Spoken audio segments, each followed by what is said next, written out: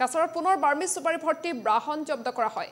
এইবাৰ ভাঙাৰ পাৰত জব্দ ৰাইজৰ অভিযানত কালাইন শিলচৰ পথত ধৰি কটালে আৰক্ষীক। অভিযানৰ উমান পাই গাড়ী চালকৰ পলায়ন।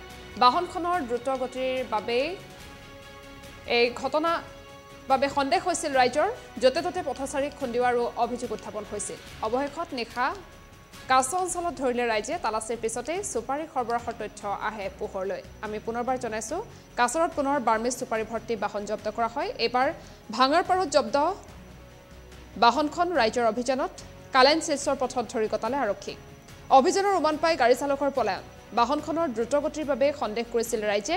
য'তে ত'তে পথচাৰীক খুন্দিওৱাৰ অভিযোগ ৰাইজৰ। অৱশেষত নিশা কাছ অঞ্চলত বাহনখন ধৰে ৰাইজে। তালাচীৰ পিছতেই চুপাৰী সৰবৰাহৰ তথ্য আহে পোহৰলৈ।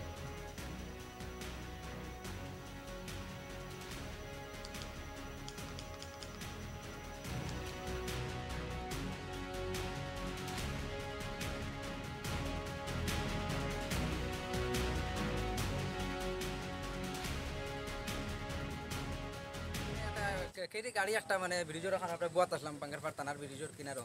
বোয়ার পরে একটা গাড়ি খুব স্পিডে আবার পরে একটা মাটি রাখা আছে, মাটির উপরে গাড়িটা উঠে গেছে। ওঠার পরে গাড়িটা ফাল্টি খাই দিতে আসলো, আমরা উপরে পড়ে দিতে আসলো। তারপরে ড্রাইভারটা লামি গেছে, লামিয়া ড্রাইভারটা ভাগি গেছে। তারপরে আমরা গাড়ি যাচ্ছি বর্মার সুপারি বাদে টানা টানি দিছি টানা দেওয়ার বাদে আমরা সেকেন্ড ইনচার্জে কইছেন কইছেন তোমরা দিলে গাড়িটা ধরলাই?